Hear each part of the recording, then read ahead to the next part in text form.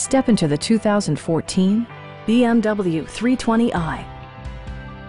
It features an automatic transmission, rear-wheel drive, and a 2-liter four-cylinder engine. Turbocharger technology provides forced air induction, enhancing performance while preserving fuel economy.